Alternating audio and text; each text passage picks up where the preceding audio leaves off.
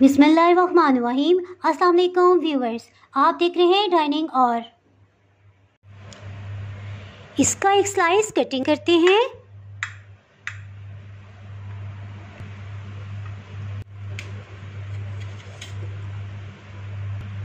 ये मैं आपको खा के दिखाती हूँ। हम्म बहुत ही मज़ेदार। आज मैं आपसे बहुत ही टेस्टी डिज़र्ट की रेसिपी शेयर कर रही हूँ। आपने मुख्तलिफ़ तरह की कस्टर्ड और पुडिंग्स खाई होंगी, लेकिन ये रेसिपी वाकई ही बहुत ही कमाल मज़ेदार है। चूल्हे पर पकाने की झंझट भी नहीं, और जो भी मेहमान ये खाएगा, आपसे रेसिपी ज़रूर पूछेगा, क्योंकि आइसक्रीम फालूदा सबका फ्लेवर इस एक डिश में आपको मिल जाएगा। अगर आप मेरे चैनल पर नए हैं तो चैनल को सब्सक्राइब कर दें और बेल आइकन प्रेस कर दीजिएगा ताकि मेरी हर नई आने वाली वीडियो का नोटिफिकेशन सबसे पहले आपको मिले। चलिए मैं आपसे शेयर करती हूँ, ये रेसिपी मैंने किस तरह से बनाई है। इस झटपट से बन जाने वाली रेसिपी को बनाने के लिए छः मैरी बिस्किट ले लेंगे। इनको ग्राइंड कर लेंगे। बिस्किट्स को पीस लिया है। इसके साथ ही एक पैक में 400 ml क्रीम शामिल कर देंगे। एक पैक 200 ml का था, इसके साथ ही दूसरा पैक भी शामिल करते हैं। ये सिंपल डेयरी क्रीम है, जो हम फ्रूट चाट और रशियन सैल्ट में भी इस्तेमाल करते हैं। इसमें बिस्किट का चूरा शामिल कर देंगे। जी, इसके साथ ही इसमें स्ट्रॉबेरी जेली शामिल कर देते हैं।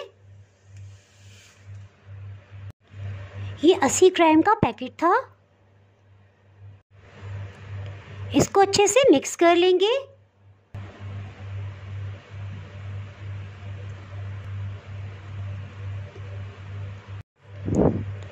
इसमें एक चीज़ का ख्याल रखिएगा कि इसमें क्रीम हम बिल्कुल रूम टेम्परेचर पे लेंगे ताकि इसमें जेली अच्छे से मिक्स हो सके। ये अच्छे से मिक्स हो गई है। इसमें बहुत मुनासिब सा मीठा है। अगर आप ज़्यादा मीठा पसंद करते हैं तो दो टेबलस्पून चीनी इस टाइम पे आप ग्राइंड करके इसमें शामिल कर सकते हैं। इसके साथ ही सर्विंग बाउल लेंगे और ये रैपिंग शीट ले लेंगे। इसको इसके अंदर सेट कर लेंगे। शीट को इस तरह से इसके अंदर सेट कर दिया है और किनारों से इस तरह से बाहर को निकली हुई है। ये जेली मैंने काले अंगूर से बनाई है। अगर आप इसकी वीडियो देखना चाहते हैं तो इसका लिंक आपको डिस्क्रिप्शन से मिल जाएगा। बाउल में सबसे पहले काले अंगूर की जेली ये लगा देंगे।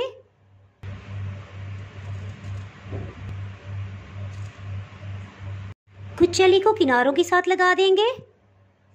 इसके साथ ही क्रीम वाला बैटर डाल देंगे।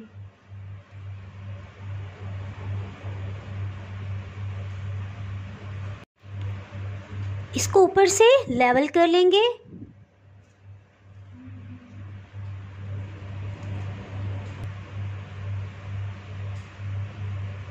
के ऊपर मैरी बिस्किट रख देंगे।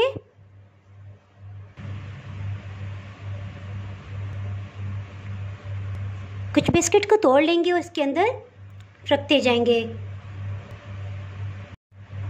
इसको दो तीन घंटे के लिए फ्रिज पे रख देंगे। जी, दो घंटे हो चुके हैं फ्रिज में इसको रखे हुए। इसको आप डिश आउट करते हैं, एक प्लेट को इस तरह से रखेंगे और इसको टर्न कर लेंगे। इसको उठा लेंगे। आहिस्तगी से शीट को भी अलग कर लेंगे।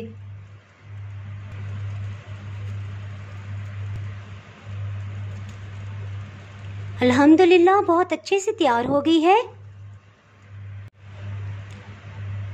अगर आपने मेरा चैनल अभी तक सब्सक्राइब नहीं किया तो अभी सब्सक्राइब करें और बेल आइकन दबाना ना भूलें, ताकि आपको मेरी हर आने वाली वीडियो का नोटिफिकेशन मिलता रहे।